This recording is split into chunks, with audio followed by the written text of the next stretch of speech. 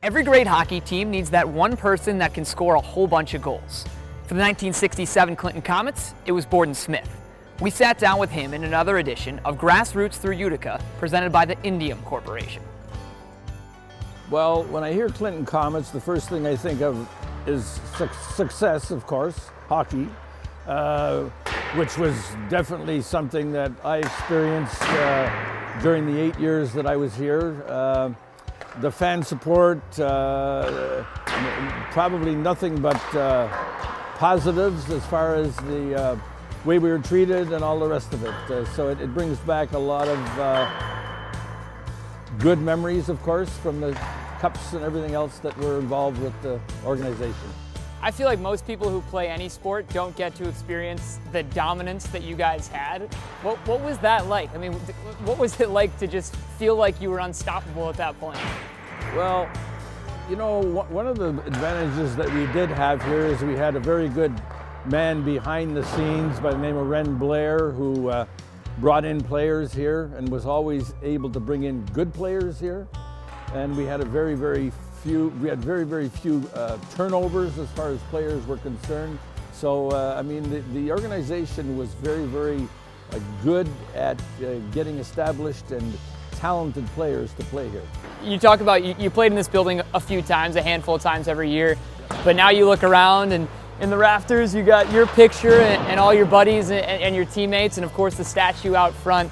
What's that like now to, to come into this building and know that your name and your faces are everywhere?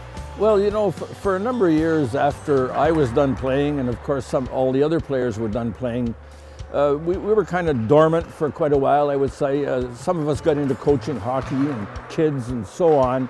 But with the uh, uh involvement here now with the Utica Comets, our careers were kind of resurrected, so to speak.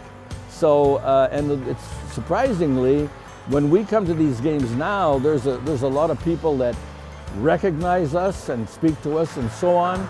And uh, we, can, we can only thank the uh, Comets Organization and Rob Esche, of course, for, for bringing us to the forefront of this uh, situation where we are now. But uh, it, it kind of makes you feel proud to see something like this happening and to look up there and see your, your sweater. And of course, the statue out in front of us four players was the, was the ultimate thing that any hockey player could ever want. So uh, it's, it's certainly a great feeling to come into the building.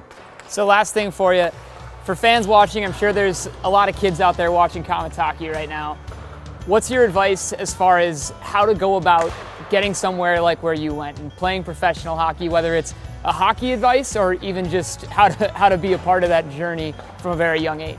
Uh, you have to realize that in today's sport, compared to other years, you don't last that long in, in the sport playing professionally. So make sure that you take every opportunity that you have to get a good education while you're playing. And if you can get that paid for on a scholarship or everything else, that's the way to go. I just want to thank the organization very much for having uh, myself, uh, Pierre Prévost, Jack Kane, uh, Dave Armstrong as uh, ambassadors for the Utica Comets, which we've been. And uh, the uh, privilege is, is uh, certainly something special for us, and we enjoy doing it.